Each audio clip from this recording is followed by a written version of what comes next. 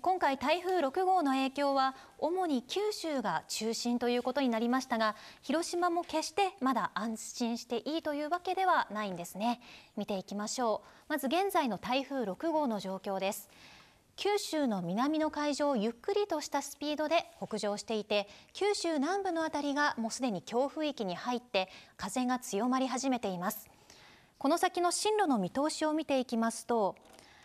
先週の見通しに比べるとだいぶ予報円の中心がちょっとこう西にずれてきました。今のところ暴風域を伴ったまま九州の西の海上を北上する見通しとなっています。この予報円の中のどこかを通る確率が70%ということで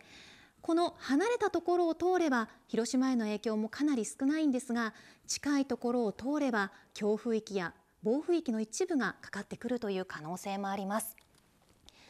この先の予報ということで警戒が必要なタイミング見ていきましょう。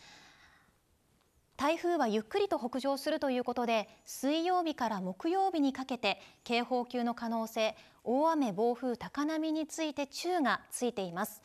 台風が少し離れたところを通ることから高潮への警戒は取れましたがやはり台風のわずかな進路の変化によって影響の程度というのは変わってきますから今のうちにできる備えをしておいてください。